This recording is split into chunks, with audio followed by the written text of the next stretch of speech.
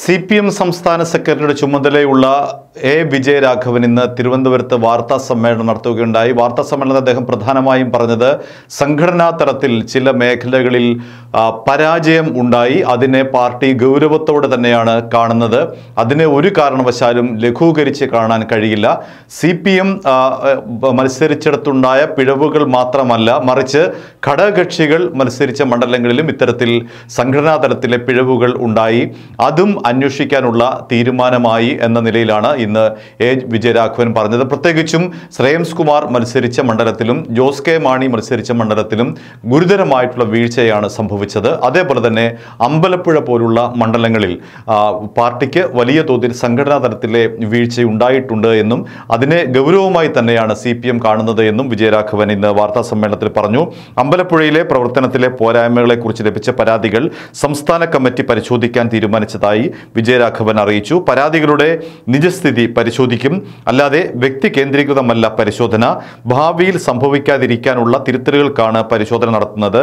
കുറ്റിയാടി സീറ്റുമായി ബന്ധപ്പെട്ട വിവാദത്തിൽ കോഴി സീറ്റുമായി ബന്ധപ്പെട്ട വിവാദത്തിൽ കോഴിക്കോട് ജില്ലാ കമ്മിറ്റി നടപടി സ്വീകരിച്ചിട്ടുണ്ട് എന്നും അദ്ദേഹം പറഞ്ഞു.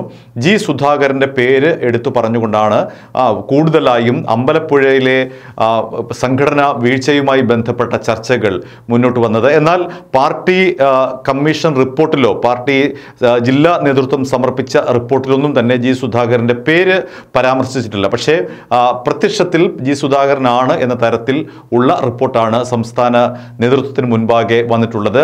നിഷ്ക്രിയമായ പെരുമാറ്റമായിരുന്നു അമ്പലപ്പുഴയിലെ നിയമസഭാ തെരഞ്ഞെടുപ്പിൽ ജി സുധാകരൻ സ്വീകരിച്ചിട്ടുള്ളത് എന്നുള്ള നിലയിലാണ് റിപ്പോർട്ടുകൾ സംസ്ഥാന നേതൃത്വത്തിന് പോയത്. അതിന്റെ അടിസ്ഥാനത്തിൽ രണ്ടംഗ കമ്മീഷനെ ഈ ജി സുധാകരന്റെ വീഴ്ചയെക്കുറിച്ച് അന്വേഷിക്കാൻ നിയമിച്ചതായും വാർത്തകളുണ്ട്.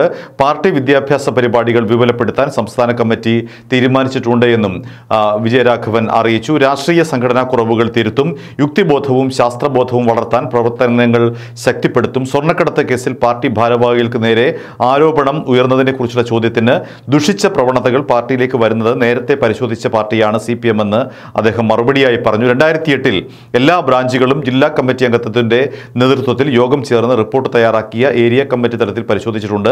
ആ റിപ്പോർട്ട് സംസ്ഥാന കമ്മിറ്റി പരിശോധിച്ചിട്ടുണ്ട്.